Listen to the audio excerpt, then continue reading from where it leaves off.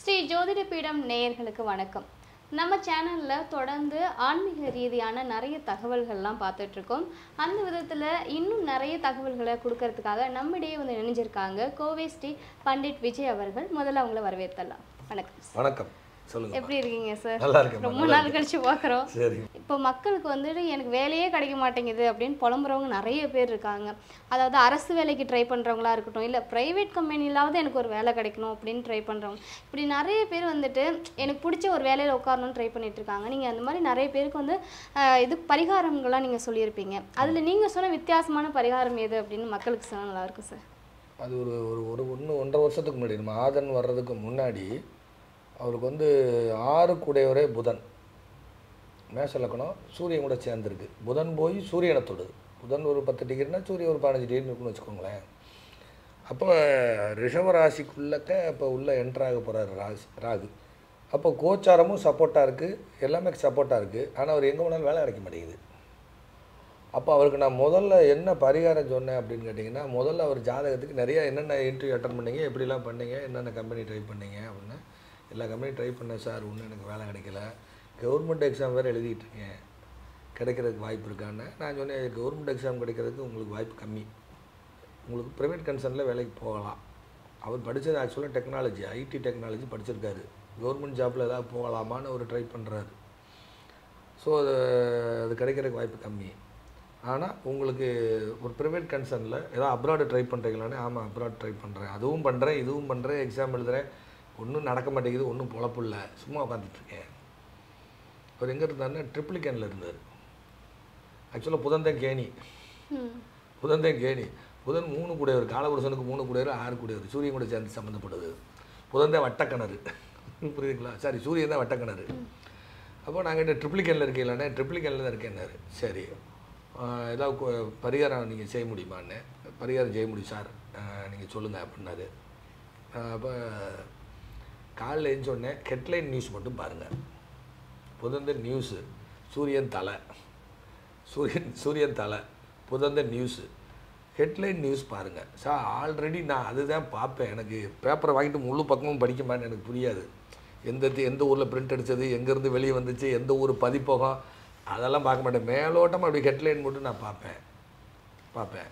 இந்த புதன் மாற்றி விடுறது. எல்லா ஒரு விஷயத்தையும் மாற்றுறது புதன் ரெட்டத்தன்மை. ஸோ இவ்வளோ நாளாக ஹெட்லைன் படிச்சுட்டு இருந்தீங்கல்ல இப்போ ஒவ்வொரு பேஜாக உள்ளே படிங்க. ஒவ்வொரு பேஜாக படிங்க. அதில் காலபுருஷனுக்கு அஞ்சு கூடிய சூரியன். சூரியனே அஞ்சாம் அதிபதி. மேசலக்கணத்துக்கு அஞ்சு கூடியவன். ஹிண்டு பேப்பர் படிக்கலான்னு. ஹிண்டு பேப்பர் தான் சார் படிப்பேன். சரி. ஹெட்லைன் நியூஸ் படிக்கிற விட்டுட்டு இப்போ உள்ள டெப்த்தாக போய் படிங்க. படிங்க. ஏதாவது ஒரு டெய்லி படிங்க. அதுக்கப்புறம் என்ன கோயில் அப்படி சொன்னேன்னா திருவையாருக்கு பக்கத்தில். திருவையாருக்கு பக்கத்தில் திருக்கண்டியூர் அப்படின்னு ஒரு ஊர் இருக்குது இந்த திருக்கண்டியூரில் இருக்கக்கூடிய ஹர சாப விமோச்சன பெருமாள். அஞ்சுங்கிறது கடவுள் அஞ்சுங்கிறது கடவுள் அஞ்சுங்கிறது கடவுள் ரைட்டா? ஆறுங்கிறது திட்டுறது ஆறுங்கிறது திட்டுறது. அப்போ இறைவனை திட்டிய சாபம் அந்த ஜாதகம். உங்கடா நீங்களும் உங்கள் சாமியை திட்டுறாங்களா இல்லையா? உங்களா நீங்கள் உங்கடா நீங்களும் உங்கள் சாமியும் திட்டுறாங்களா இல்லையா? அந்த மாதிரி இறைவனை திட்டிய சாபம் ஆச்சாரம் அனுஷ்டானம் தெய்வ அனுகிரகம் இதுகளை பற்றி திட்டுறது. இப்போ உதாரணமாக சொல்கிறாருந்தா இறை நம்பிக்கை எல்லாருக்கும் இருக்குது நம்ம இந்து மதத்துலேயும் இருக்குது இஸ்லாத்துலேயும் இருக்குது கிறிஸ்தவ மதத்துலேயும் இருக்குது ஒரு இஸ்லாமியர்களை வந்து நம்ம வணங்கணும் ஆக்சுவலாக ஏன்னா அவங்கள கையெடுத்து கும்பிடணும். அவங்க என்னைக்காவது இறைவனை திட்டி பேசியிருக்காங்களா? கரெக்டாக உண்மையிலே அவங்களை ரொம்ப பிடிக்கும். எனக்கு இஸ்லாத்தை ரொம்ப பிடிக்கும். ஏன்னா வெள்ளிக்கிழமை கரெக்டாக தொழுகி போயிடுவாங்க. எல்லோரும் அங்கே சமம். எல்லோரும் சமம். ஒருத்தருடைய காலுக்கீழே தான் இன்னொருத்தருடைய தலை இருக்கும். அந்த நமாஸ் பண்ணும்போது. ரைட்டா அந்த நமாஸ் பண்ணும்போது. அவங்கள ஒருத்தரையாவது கூப்பிட்டு இறைவன் இல்லைன்னு சொல்ல சொல்லுங்கள் இறையாற்றலுக்கு எதிராக சொல்ல சொல்லுங்கள் யாராவது ஒருத்தரை. சொல்ல மாட்டாங்க. அவங்களுடைய மதப்பற்று அவங்களுடைய நம்பிக்கையை சிறந்தாழ்ந்து வணங்கணும். அவங்ககிட்ட இருந்து நிறைய பாடம் கற்றுக்கிறோம் நம்மெல்லாம். ரைட்டா சனாதானம்ங்கிறது அங்கேயும் இருக்குது எல்லோரும் சமம் அங்கே. மசூதிக்குள்ளே எல்லாரும் சமம். யாரும் அங்கே நாங்கள் அஜரத்து நாங்கள் இதெல்லாம் அப்படிலாம் அங்கே கிடையாது. நான் பெரிய ஆளு நான் ஹாஜிக்கு போயிட்டு வந்திருக்கேன் ஹஜ்ஜுக்கு போயிட்டு வந்திருக்கேன் நான் ஹாஜி. அதெல்லாம் கிடையாது. எல்லோரும் இறைவன் முன்னாடி சமம். எங்கள் ஊர்லலாம் தொலைக்கு போவாங்க. நிறைய இஸ்லாம் நண்பர்கள் உயிருக்கு உயிரான நண்பர்கள் நிறைய பேர் இருக்காங்க. ஒரு தட்டில் சாப்பிட்றலாம் இருக்குது புரியுதா?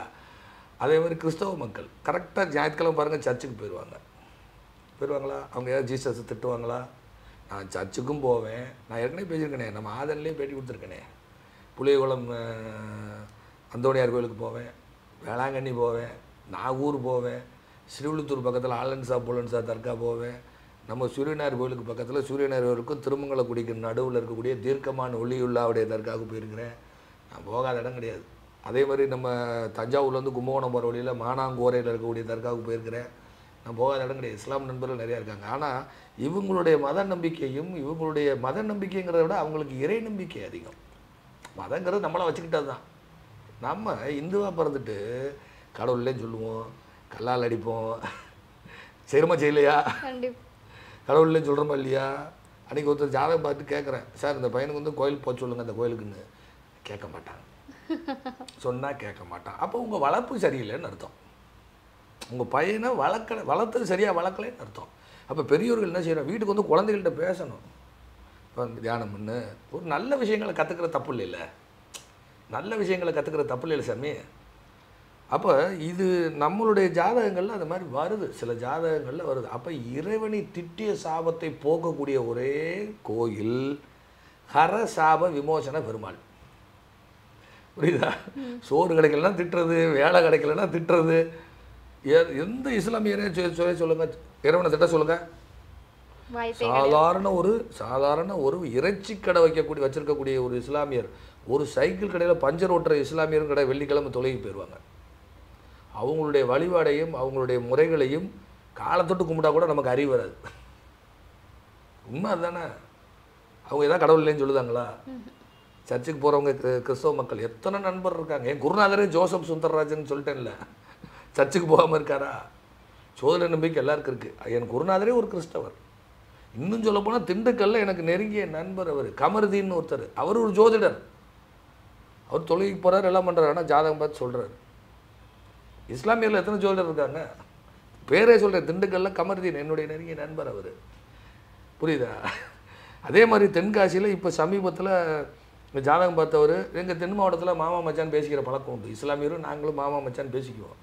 தென்காசியில் அவர் ஐஸ்கிரீம் கடை வச்சு இதெல்லாம் பண்ணி பெரிய லெவலில் பிஸ்னஸ் பண்ணி லாஸ் அவர். மாமா நான் ஒன்று சொன்னால் கோச்சிக்க மாட்டேங்களேன்னு சொல்லுங்கள் மாமா. அவர் மாமான் தான் பேசுகிறார் இன்னமும். இந்த மீடியா நாளைக்கு பார்க்கத்தான் போகிறாரு ஒரு இடம் திருவண்ணாமலை ஏதாவது போக முடியுமா மாமா அப்படின்னு. மாமா நான் என்னை கோயிலுக்குள்ளே விடுவாங்களா மாமான்னாரு. நீங்கள் போயிட்டு வாங்க யாரும் ஒன்றும் சொல்ல மாட்டாங்க. போயிட்டு வந்தார். இப்போ ஒரு நான் மலேசியாவில் இருக்கும்போது வாட்ஸ்அப் காலில் என்னை கூப்பிட்றாரு. மாமா கூட்டம் பயங்கரமாக இருக்கு மாமா கோயில்லன்னாரு பரவாயில்ல. பொறுமையாக இருந்து பிரார்த்தனை பண்ணிட்டு வாங்க. அல்லாஹக்கா நினச்சி பிரார்த்தனை பண்ணுங்க. நீங்கள் அண்ணாமலையாராக நினைக்க வேண்டாம் அருணாச்சலராக நினைக்க வேண்டாம். அல்லாஹக்கா நினச்சி பிரார்த்தனை பண்ணுங்க. அங்கேயும் மேற்க திரும்பி தான் கூட போகிறீங்க என்ன மண்டி போட்டு நமாஸ் பண்ண முடியாது. உங்கள் பிரச்சனைக்கு எது? போயிட்டு வாங்க. சில தர்காவெல்லாம் சொல்லியிருக்கேன். இந்த தர்கா போங்க இது செய்யுங்க. சம்மட்டிபுரம் தர்காவுக்கு அவர் போக சொன்னேன். மதுரை சம்மட்டிபுரம் மருதநாயகம் மிகப்பெரிய கூடு விட்டு கூடு பாயக்கூடிய வித்தையை கட்ட கற்று கற்றுக்கொண்டவர் மருதநாயகம். அவருடைய ஃபிசிக்கல் பாடியை நாலு பார்ட்டை பிரித்து வச்சுருக்காங்க. மருதநாயகம். அவ்வளோ பெரிய வித்தை தெரிஞ்சவர். அவருடைய தர்கா கூட போங்க மாமான்னு சொல்லியிருந்தேன். ஏன்னா அவங்களுடைய வழிபாட்டு முறையை நம்ம மதிக்கணும்ல. அவர் நம்ம மதம் மாற்றலை மட ம- அந்த மாதிரி அந்த மாதிரி மதம் மாற்றக்கூடிய மடை செய்யக்கூடிய வேலையை நான் செய்ய மாட்டேன். அவங்களுடைய நம்பிக்கையும் செய்யணும். அப்போ இங்கே நம்ம கலாச்சாரத்தில் பிறந்து இறைவனை திட்டிய சாபம் அது. அப்போ ஹர சாப விமோச்சன பெருமாள். கரணா என்னது திட்டுறது? சாபம். அப்படி சாபம் வாங்கியவர்களை மன்னிக்கக்கூடிய பகவானாக திருக்கண்டியூரில் இருக்கார். திருக்கண்டியூருடைய வரலாறை படிச்சீங்கன்னா பயங்கரமான வரலாறு. பாண்டியர்களுக்கும் சோழர்களுக்கும் பெரிய யுத்தம் நடந்த இடம். ஆயிரம் யானையை ஒரே நாளில் வெட்டியிருக்காங்க தும்பிக்கையை பாண்டியர்களுக்கும் சோழர்களுக்கும் நடந்த பிற்கால சோழர்களுக்கும் பாண்டியர்களுக்கும் நடந்த போரில் அவ்வளோ பெரிய வரலாற்று சம்பவம் நடந்த இடம் திருக்கண்டியூர். நான் ஜோதிடம் மட்டும் படிக்கலை. ம், நீங்க சொல்லும் போதே தெரியுது ஹிஸ்டாரிக்கல் நிறைய எனக்கு வரலாறு ரொம்ப பிடிக்கும். ஏன்னா லக்ன சனி லக்ன சனி பழமைவாதம் ரொம்ப பிடிக்கும். அதனால் இஸ்லாம்ங்கிறது ஒரு பழமையான ஒரு மதம். அதனால் எனக்கு இஸ்லாமை ரொம்ப பிடிக்கும். ஏன்னா ராகு திரிகோணத்தில் ராகு இஸ்லாம் நண்பர்கள் அதிகம். நான் பிறக்காத மதத்தை நான் திட்டுவதில்லை. ரைட்டா நம்ம அந்த மதத்திலே பிறக்கலாமே அதை திட்டணும். அதை மதிக்கணும். அவங்களுடைய வழிபாடை மதிக்கணும். அவங்களுடைய வழிபாட்டு முறைகளை இன்றைக்கி நாம் மதிக்கிறோமோ அன்னைக்கு தான் இறைவன் நமக்கு அனுக்கிரமணும் எல்லாம் இறைவன் ஒன்று தான் இறைவன் ஒன்று தான் நம்ம பல ரூபமாக பல அவதாரங்களாக நம்ம அதை வச்சுருக்கோம். அவ்வளோதான் விஷயம். ஸோ அந்த கரசாப விமோசன பெருமாளை தரிசனம் பண்ணிட்டு தலைப்புச் செய்தி படிக்கிறத நிறுத்திடுங்க. உள்ள டெப்த்தாக போய் படிங்க. புதன் தான் வந்து ரெட்டத்தன்மை. ஸோ இது மாதிரி பண்ணுங்க அப்படின்னு சொல்லி பண்ணிட்டு வந்து ஆறாவது வாரம் ஒரு வேலை கிடைக்குதுமா? வேலை கிடச்சிச்சு ஆறாவது வாரம் வேலை கிடைச்சது. இத்தனைக்கும் அவரே பிராமின் அவர். முன்னொரு ஜென்மத்தில் திட்டிருக்கிறார் இறைவனை. இது கண்டுபிடிக்கிறது என்ன சாபம்னு ஒரு ஜாதகத்தை வாங்கி பார்த்தோம்னா அவங்களுக்கு வந்து பிறவிலேயே அந்த கண் பாதிப்பு அவங்களுக்கு யாரை பார்த்தாலும் அவங்க வீட்டில் இருக்குது கண்ணு வந்து முழுமையாக தெ முழுமையாக தெரியாது. கொஞ்சம் தான் தெரியும். அதாவது கிட்ட வர வர பார்வை குறைபாடு வந்துடும் அந்த மாதிரி அவங்க ஜாதகத்தில் வாங்கி பார்த்தா அது பெண் சாபம் வாங்கியிருக்கு. பிறன்மனை நோக்குதல் மூலமாக வந்த சாபம் அப்படின்னு அது சொல்லுது சாஸ்திரங்கள் சொல்லுது. ஒவ்வொன்றுக்கும் சாபம் இருக்குது ஒவ்வொன்றுக்கும் இங்கே விமோசனமும் இருக்குது ஆனால் அதுக்கு தகுந்த உபகாரங்கள் செய்யும் பொழுது நன்மை நடக்கும். நன்மை நடக்கும். ஸோ அப்படி சொல்லி சக்ஸஸ் ஆயிருக்கு. ஸோ ஒரு ஜா ஒருவேளை நமக்கு அந்த மாதிரி இருந்தால் வேலை வாய்ப்பு கிடைக்கிறதுக்கு கர சாப விமோ ஏன்னா ஆறாம் இடம் தான் வேலை. ஆர்வம் போகலாம் ஆறாம் இடம் தான் வேலை. ஆறாம் இடம் தான் வம்புழுக்கிறது சண்டைக்கு போகிறது புரியுதா? ஸோ அப்போ அவங்க ஜாதத்தில் ரெண்டாம் இடத்தோட தொடர்பு கொண்டதுனால அதை சொல்லி செஞ்சு அவர் வேலையில் இருக்கார். ஸோ இதுதான் நம்ம சொல்லக்கூடிய பரிகாரம். வித்தியாசமான வித்தியாசமான பரிகாரம். ஆமாம்மா. நன்றிம்மா. நன்றி. வாழ்க வளமுடன். வாழ்க வளமுடன். நன்றிம்மா.